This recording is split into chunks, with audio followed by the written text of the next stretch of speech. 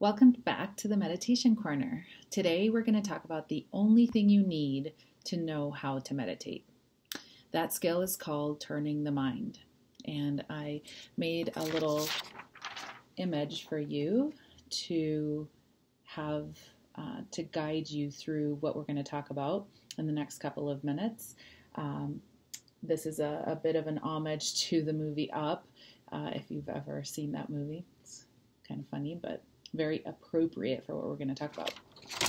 So, the skill turning the mind is really all about this image. It's about switching back from a distraction to your anchor. So, what is an anchor?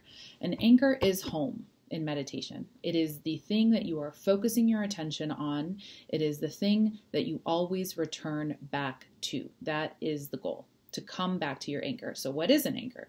An anchor can be anything you choose. And this is what I love about meditation. It really is so unique and so specific to what your needs are. So, if you love focusing on your breath, and there will be another video on how to do that, if you love, um, a mantra. Maybe you go to yoga or you've worked with uh, a spiritual mentor who has uh, provided you with a mantra that works. There's also general ones like So Hum, which is actually going to be the next video, so make sure you tune in for that. Um, it can be a physical sensation, the sensation of your feet on the ground. It can actually be the meditation itself, can be a um, process by which you uh, visit different points in the body to keep you grounded, um, or it can be a sound. Whatever it is, you need to be specific. You need to be very specific about what you want your anchor to be because you can't be floundering coming back to an anchor and trying to decide what that was. You want to be really specific and identify it before you actually start. From there, what is a distraction? A distraction is um, going to happen naturally. You don't have to worry about that. The mind is constantly analyzing our internal and our external state to determine if we're safe. It's a very natural process. However, that's not where we want our mind to be during our meditation. We want our mind to consistently be coming back to the anchor. So when the distraction occurs, which is natural and it will, you want to redirect it back to the anchor that you have previously identified very specifically. So let's say that we choose the anchor to be um, our breath. I'm focusing on my breath. I start my meditation. I'm sitting comfortably or laying or whatever works for me. And all of a sudden, I notice squirrel. I'm thinking about did I leave the oven on? Did I lock the door? Uh, what about that school project, et cetera, et cetera? Maybe a work deadline doesn't really matter. Um, maybe a physical sensation, actually, it's very common. And you say, oh, that's a distraction. I've committed myself to turning my mind back to my anchor, which I've identified for today as my breath.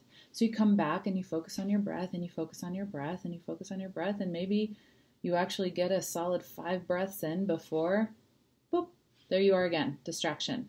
Squirrel. And maybe you actually feed into the stir- story of the squirrel. And maybe a minute passes, and then you think, oh my goodness, I got swept away by the story that was not my anchor, right? That was a distraction. So then you bring your attention back to your anchor, and this is turning the mind, turning your mind back to the point of focus that you've chosen. So this is really um, the only skill that you need to be able to meditate. That's it. It is the movement from the anchor to the squirrel, to the anchor to the squirrel, to the anchor to the squirrel, and always coming back to the anchor that is the equivalent of a bicep curl at the gym when you're trying to grow and strengthen that muscle group. This is the muscle of focus, the muscle of attention. And this is the exercise that will help you to gain that strength in order to gain um, more mental clarity, greater productivity, more creativity, um, and greater peace of mind that um, certainly comes from the decrease in anxiety, from being able to attend to your thoughts and being able to redirect to a specific and more productive and effective uh, thought process. Thank you very much. If you want to learn more, please come back. Uh, I will be posting a meditation soon on mantras and uh, anchors, so you will be able to practice that soon.